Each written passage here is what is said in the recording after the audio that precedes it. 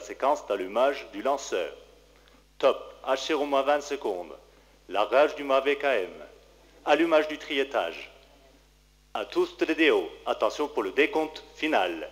10, 9, 8, 7, 6, 5, 4, 3, 2, 1. Top. Décollage. Lift-off. VS14.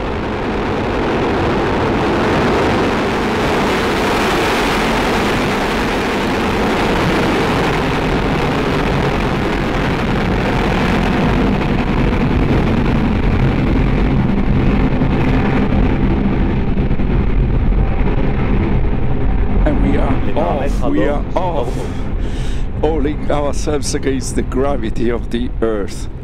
336 tons, the equivalent of 22 buses. And we're heading north, out over the Atlantic, and then uh, over North Canada. So at the moment, Soyuz is burning its five engines, one on the core stage, four on the boosters. Uh, the boosters are doing most of the work. Their job is to get us away from Earth and defeat gravity, which makes us stick to our planet. They have a very short-lived Le job. vol est nominal, les paramètres sont normaux. all parameters are nominal.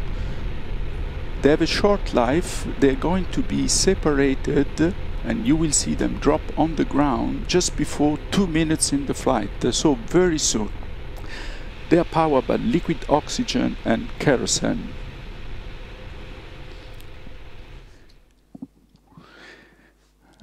If we get lucky, we should be able to see the separation of the boosters, which is a magnificent uh, sight.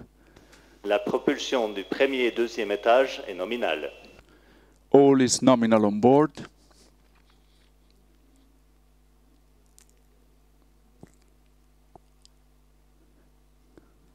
Watch for 158.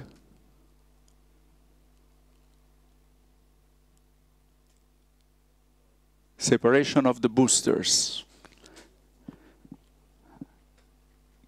You can't, but I can see the roar of the engine from étage. where I'm staying.